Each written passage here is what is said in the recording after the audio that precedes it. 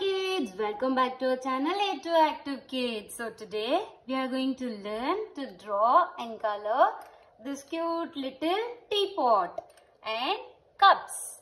So here is our small little teapot and colorful cup with sauce.